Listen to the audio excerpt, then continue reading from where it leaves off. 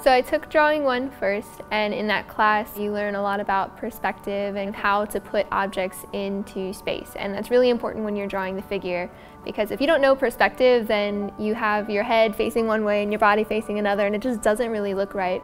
You can draw a picture of an apple and people are just going to assume that it's correct but if you draw a person and one thing is off people know right away and so that perspective element from drawing one is very very important in drawing two. That's how it kind of flows into it. In this class, just about every day we come in and set up and draw from the model, so it's just practice every day. And it's a three hour long session, so it gets you really involved. It's not like drawing one. This isn't geometric shapes and straight lines. You're gonna really have to do rigorous stuff and really it's almost like anatomy. You're learning about the structure of the face, the body, and I would tell him going in, just from personal experience, that he or she should really push themselves and do things that is out of their comfort zone. Do things you've never done before and really just try to be unique and just search for things because drawing two is all about finding out who you are as an artist and what your mark is. It's not all drawing. One of the assignments that we do in the course is to look at body decoration around the world. We study tattoos, scarification, piercings, we then imagine that we are part of that culture looking back at our own. And from that, we try to imagine what others would see in us.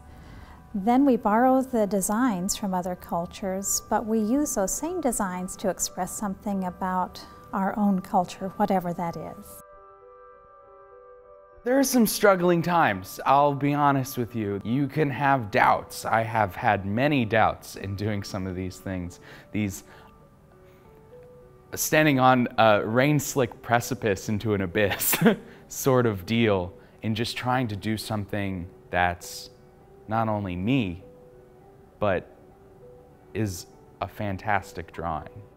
Maybe some people don't thrive on those ideas or make the breakthroughs that they do, but for the most part, this do or die mentality that you can come to in some moments can make something breathtaking and really take you that next level and not only your drawing, but in knowing who you are as a person and how you can handle this.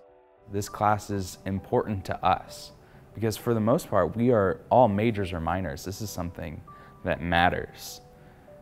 We want it to matter, and we make it matter.